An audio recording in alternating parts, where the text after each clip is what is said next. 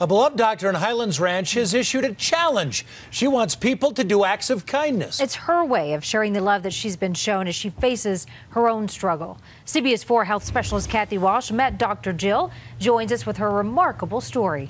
You know, Dr. Jill Pechacek is an inspiration. Her colleagues call her Wonder Woman. She never stops thinking of others, even as she's fighting for her life. I am a super mommy doc. The Aspen Family Care Caped Crusaders, I am Green Lantern. all dressed up in honor of Wonder Woman. She has the biggest heart, most caring heart. I love her. I miss her. So on Office Superheroes Day, they channel their powers We're lifting her up and helping her. to heal one of their own. She is Wonder Woman. She can do it all and then some. She is Jill Pechacek, devoted doctor, loving mother, cancer patient. At 46, Dr. Jill has pancreatic cancer, stage 4. The survival rate is 1%. That's all I focus on is on the 1%, and I know that I can be there. Jill has beaten the odds before. 20 years ago, she survived ovarian cancer. Oh, our motto is God's got this. Trust in God, faith in people.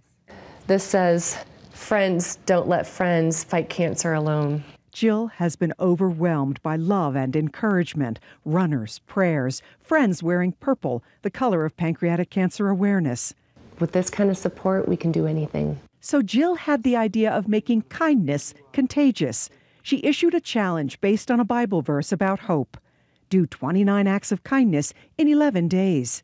This is a, a junior high friend. The call went viral. 15 smiles and kind gestures to strangers, money given to a homeless man. In one week, the challenge has already reached all 50 states and 10 countries. Isn't that just amazing? Mm-hmm. This Wonder Woman feels blessed to have a new power inspiration. Because if I can be someone's hope or someone's miracle and empower and inspire other people, then I'm honored that God chose me.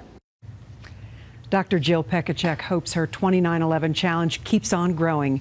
And meanwhile, she's counting on a miracle. They do happen. Yeah, Absolutely. She says that all the time. Neat lady. Thanks, Kathy.